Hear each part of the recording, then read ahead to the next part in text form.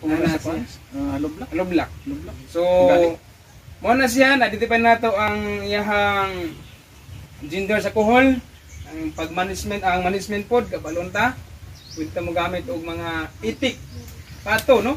So, panahon nga magpatanom ka, duha ka semana, pareha karon 15 kadlaw, pwede na mo na palangyan ang itik.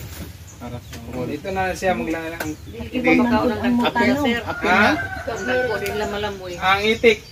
Mm. Na. Apel na nasa kanang mga mga na insekto. Oh, na mga insekto pod, kaon na sila. So, mana, duck, ah, rice duck farming, may nanag daw. So, Ariada sir, oh. oh, sa kanang farm aw mayanda nga naitikan. Mm, di, wala ka ka nang libre na ka sa mga chemicals. Sila na magsusuroy. Nang buwan na kati ng kuan. Manay na ka, indot mo niya. Paborito po na sa humay, nga nana nga stage ka na magpanipak bitaw, nga naghay mag lihok-lihok. Kumbaga magtamak-tamak ba, mangihagon bitaw ang kuan kay mas Tandog. mo penetrate ang iyahang gamot, no? Ano siya? Kailangan siya nga matandog siya, tamak-tamakan. Kung ang iyong tanong nito, tamak-tamakin ito. Di ba ka na bang? Kung sa ato pa, kanom ta, hambukan ba? Okay na, kanang kulay. Hambukan, ganha pang may pod, ganahan ko na sila nga, na matandog na sila panahon sa pag-tillering stage.